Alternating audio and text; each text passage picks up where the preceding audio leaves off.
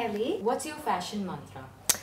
Uh, okay, my fashion mantra. You know, I'm I'm someone who I always wear what I feel comfortable in, and I'm very comfortable in like leggings or like uh, jumpsuits or just like um, um, you know, a very comfortable, stretchable um, dress, like a long dress. You know, which you just you just feel so comfortable wearing it, especially like in Mumbai. You know, because of the weather. It, I mean, we have so much of humidity and it's hot. So then wearing jeans, not because I love wearing jeans, I have lots of them, but it doesn't happen so often here because I feel it, uh, somehow you feel like you, it, you can't breathe, you know. Uh, so so yeah i mean and and basically like my fashion mantra would be that you know always wear what you feel comfortable in you know because then you will be yourself easier because you know if you're wearing something you're not comfortable in then somehow when you want to react in a certain way you will always kind of like um, hold yourself back because you're thinking of the outfit you're wearing and you're not really feeling comfortable and that somehow kind of shows then you know uh, so you should be more free and like be freely Right. So are you brand conscious? no Not at all. no I, i've never been brand conscious So if you honestly get a chance speaking to go on street and shop, would you? Oh yeah. Yeah, yeah, yeah. I you know, I've always been that if I find something that I love and I feel it looks very nice on me and I'm comfortable in wearing it, I'll buy it.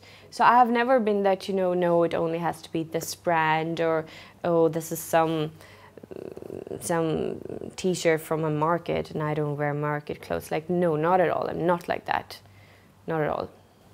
Okay, what are your five wardrobe must-haves? Uh, leggings and um, shoes. I'm crazy about shoes. Um, ganjis, t-shirts, and um sweatshirts. Yeah, Comfort or style? What do you prefer? uh, comfort. Comfort. I prefer. Of course, I love style, but you know, comfort again. You know, like I said, you have to be.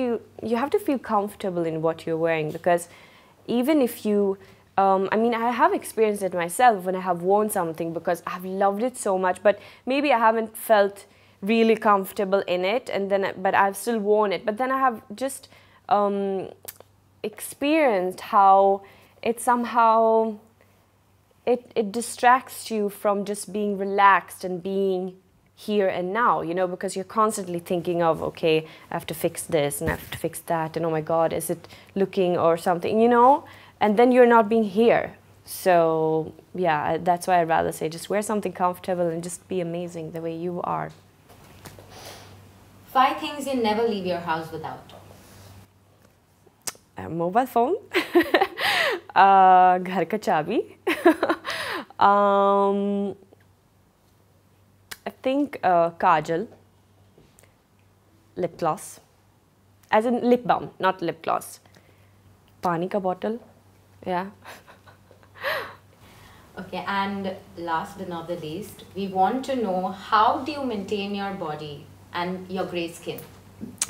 Uh, how do I maintain it? I, I believe by you know I, I stick to my to my routines. You know, um, like um, in the mornings I always go for my yoga, and then you know um, I always make sure to have my breakfast because breakfast is something like it's it's the most important meal you know of the day.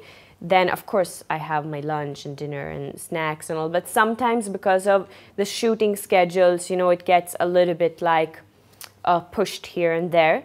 Uh, but then i always make sure to take care of it um, and try to eat on the specific time where you should eat.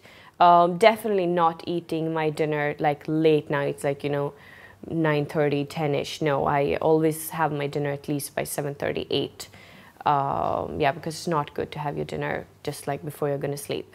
Um, and uh, like what i've said like now for 2017 i said that um, i will stick even more to my discipline and irrespective what will be happening you know some events or parties or dinners and all by 10.30 i'm sorry but i'm sleeping and i will really stick to it and i have done that um, until date actually except for when i went to Filmfare.